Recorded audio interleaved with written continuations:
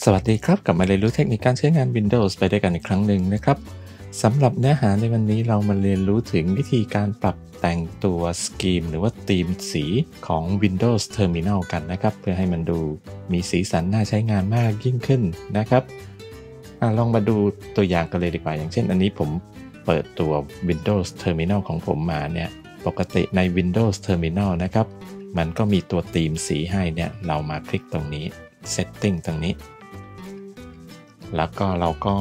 มาดูตรงที่โปรไฟล์ของเราเนื่องจาก Windows Terminal เนี่ยสามารถสร้างโปรไฟล์ได้หลายอย่าง อย่างเช่นจะเป็นตัว PowerShell เป็น Command Prompt เนี่ยแยกจากกัน เดี๋ยวผมจะใช้ตัว PowerShell 7 Profile ตัวนี้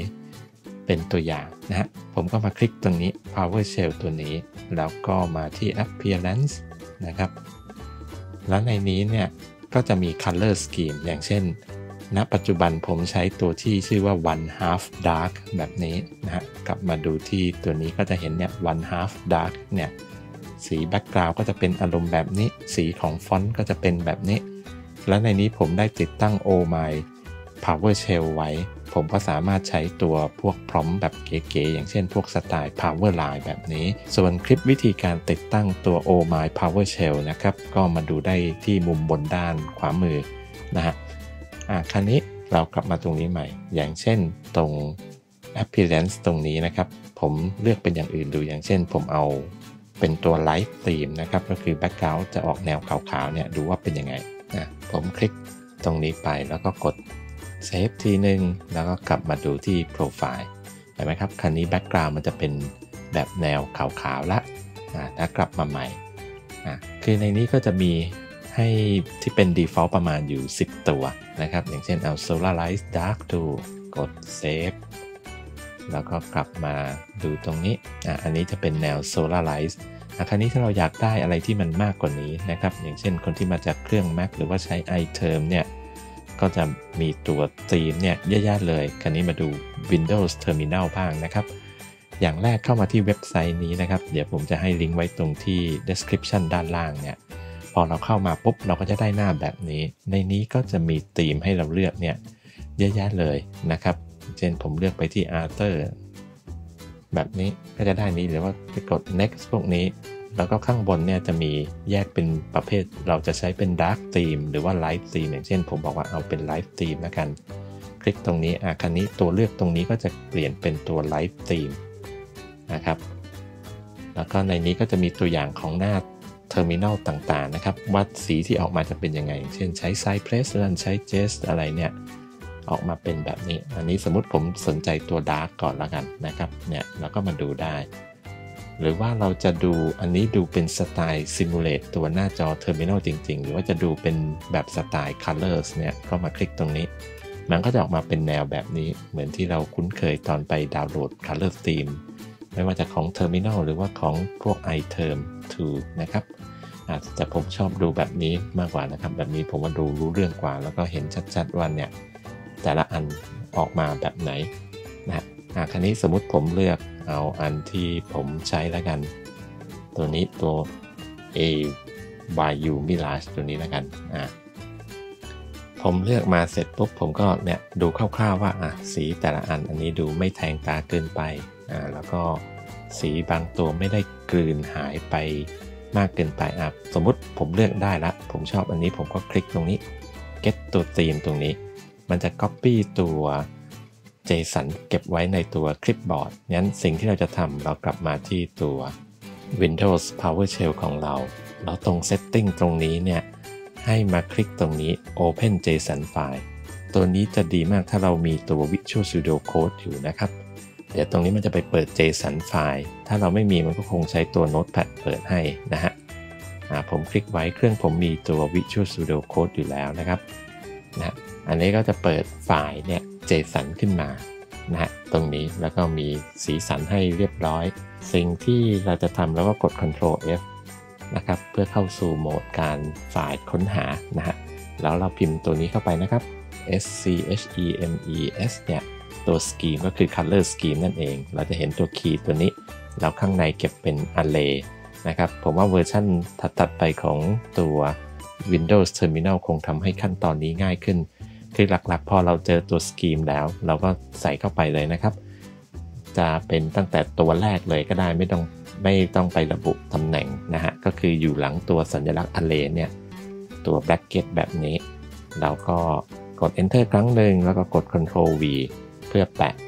เนี่ยตีมสีเมื่อกี้ที่เรากลับมา แล้วเราก็อย่าลืมต้องใส่คอมมาปิดท้ายนะฮะอ่าแล้วเราก็กด save ตรงนี้ไปได้ อันนี้ก็จะมีตีมนะครับเนี่ย AYU เนี่ย u Mirage ตรงนี้ กด Ctrl S Save แล้วคราวนี้ผมกลับมาฝั่งของตัว Windows Terminal ตรงนี้ เดี๋ยวมาสังเกต Color Scheme ตรงนี้นะครับ ผมจะได้ตัวนี้ละ AYU เนี่ย u Mirage ตัวนี้ขึ้นมา ผมก็เลือกไปแล้วก็กด Save แล้วผมก็มาดูตรงนี้อ่าอันนี้ก็จะเป็นธีมที่ได้ของตัว Mirage เมื่อกี้แล้วนะครับ หรือว่าเราอยากเอาอันอื่นด้วยผมสาธิตตัว Light Theme Light Theme สมมุติผมเอาอันนี้เลยแล้วกันนะครับ 3024 เนี่ยมาดูว่าอะมันก็พอดูโอเคนะครับอ่าผมก็ ได้ตัวนี้แล้วก็ Get Theme คลิกไป คราวนี้เนื่องจากว่าเราเคยเปิด Visual Studio ไว้อยู่แล้วนะครับ เราก็มาคลิกตรงนี้ได้เลยนะฮะเพราะเรายังไม่ได้ปิดไปเมื่อกี้ แล้วเราก็มาที่ตรงนี้เหมือนเดิมสัญลักษณ์ array ตรงนี้ กด enter ครั้งหนึ่งแล้วก็กด control v แล้วก็กด comma ตรงนี้ ใส่เข้าไปแล้วก็กด control s save นะแล้วก็กลับมาที่ windows terminal ใหม่ แล้วตรงนี้เราก็อยู่ที่ setting เนี่ย คราวนี้เราจะมีเนี่ย3024 day เนี่ยครับ ขึ้นมา แล้วก็คลิกอันนี้แล้วก็กด save แล้วก็มาตรงนี้ เห็นไหมครับ คราวนี้ก็จะได้เป็นแบบ light theme ละคราวนี้อีกเทคนิคหนึ่งนะครับ ที่ผมอยากจะแชร์ก็คือตอนที่เราใช้คำสั่งอย่างเช่นพวก ls หรือว่าจะใช้ gci ตามสไตล์ของตัว powershell เนี่ย สมมติผม เข้าไปที่ demo นะอันนี้สังเกตนะครับ มันจะเริ่มเห็นเป็นสีสีอะไรขึ้นมาละแล้วในนี้มีไฟล์หลายแบบ ผมต้องการให้มันไฮไลท์เป็นสีสีแยกตามประเภทไฟล์ หรือว่าถ้าเป็นไฟล์ก็สีหนึ่งเป็นโฟลเดอร์ก็สีหนึ่งเนี่ย เราจะทำยังไงนะครับ ในนี้ผมมีลิงก์ให้ดาวน์โหลดตัวโมดูลอันหนึ่งนะครับ ที่ชื่อว่าตัวเนี่ย get child item color นะฮะ ซึ่งจะทำให้ตัว คำสั่ง list ของเรานะครับ มีสีสันมากขึ้นนะอย่างเช่นอันนี้เนี่ย list ออกมา directly เป็นสีหนึ่งตัวไฟล์นามสกุล ini สีหนึ่ง dll สีหนึ่งนะครับอันนี้มาดูวิธีการติดตั้งนะครับ อันนี้เป็นคนเขียนเขาแชร์อยู่บน GitHub นะครับ เราก็มาดูวิธีการติดตั้งก็ใช้คำสั่งนี้นะฮะ install module แล้วก็เนี่ย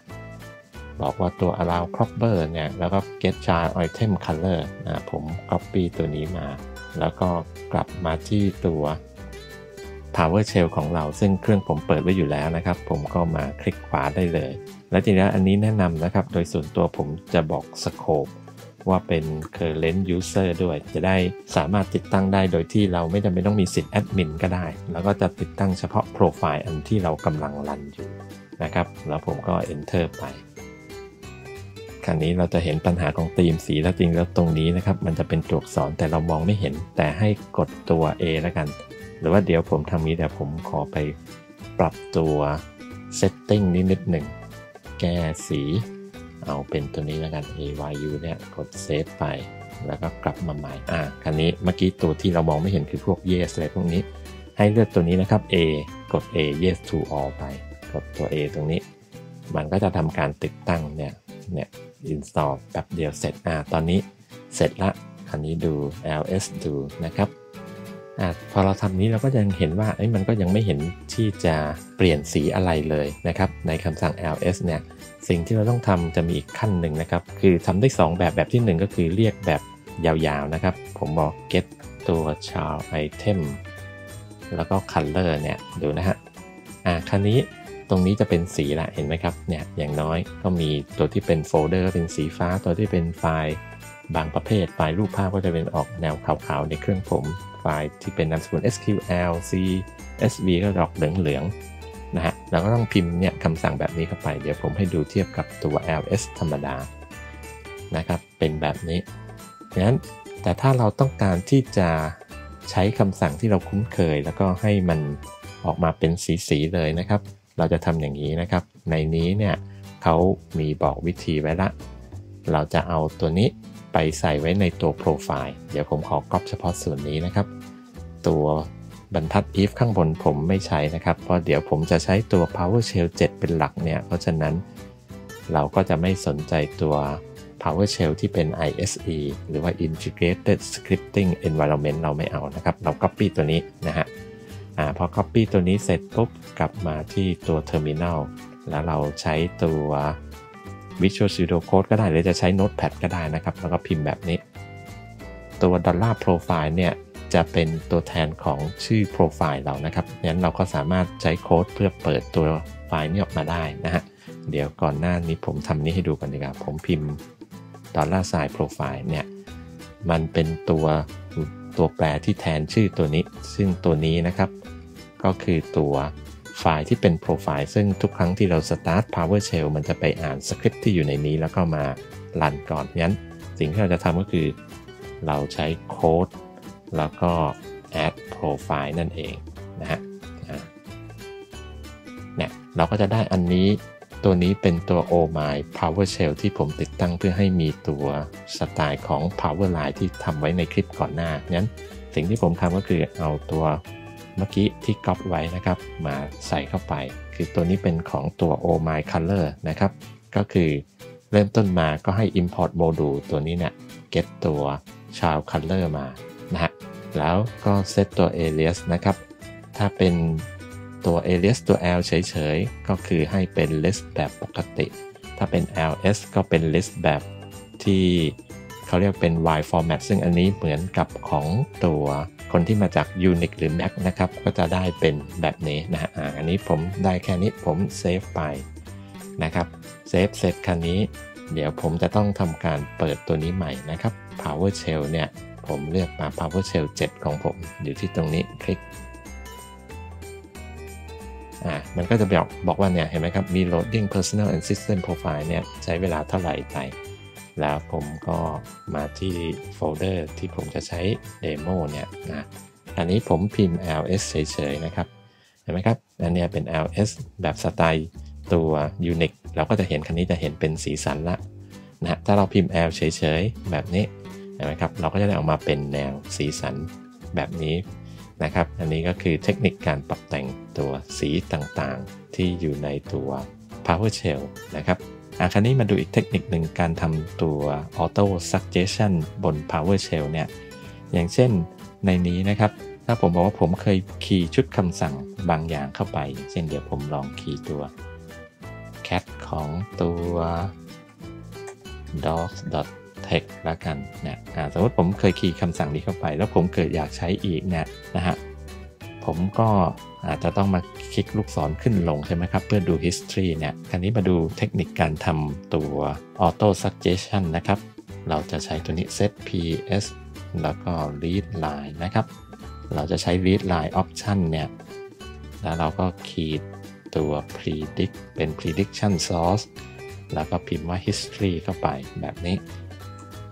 การนี้เดี๋ยวของเรานะครับ อย่างเช่นผมพิมพ์ตัว C อันนี้สีอาจจะมองกลืนไปหน่อยนะครับ C ปุ๊บเห็นไหมครับ มันจะโชว์ขึ้นมาเมื่อกี้คำสั่งที่เราเคยใช้ไปเนี่ยมี C cat เพื่อเอาไฟล์ doc มาโชว์นะครับ แล้วเราก็กดลูกศรไปทางขวา เพื่อบอกว่าเอาคำสั่งนี้ enter ไปนะฮะหรือว่าผมจะใช้คำสั่ง mkdir สมมุติว่า image ละกัน แล้วผมก็ move ไฟล์ที่เป็น png เข้าไปที่ image แบบนี้ อ่าคันนี้ถ้าผมพิมพ์ตัว M เห็นไหมครับ มันจะขึ้นว่าเนี่ยคำสั่งที่เป็นตัว M ที่เมื่อกี้ใช้ไปนะครับ มีคำสั่งอะไร แล้วถ้าผมพิมพ์เมื่อกี้มันก็จะตัว move คือตัวล่าสุด ถ้าผมพิมพ์ตัว K เติมเข้าไปเห็นไหมครับ มันก็จะเป็น mkdir ตัวนี้ ถ้าเราโอเคกับคำสั่งนี้ก็กดลูกศรไปทางขวา ถ้าสมมติไม่โอเคก็กด escape เป็นการเคลียร์ แล้วเราก็พิมพ์คำสั่งของเราเองได้นะครับ นอันนี้ก็ cd image ถ้าไปดู list มาดูนะครับ ก็จะมีพวกนี้นะฮะ หรือว่าตรงนี้มาพิมพ์ตัว c เห็นไหมครับ มันก็จะโชว์ตัว c คำสั่งขึ้นต้นด้วยตัว c ตัวล่าสุด cd image แบบนี้ให้เรานะครับ เอาละครับ ลองเอาเทคนิคการปรับแต่งสี แล้วก็การทำ auto completion ของตัว Windows Terminal ไปลองใช้กันดูนะครับ สวัสดีครับ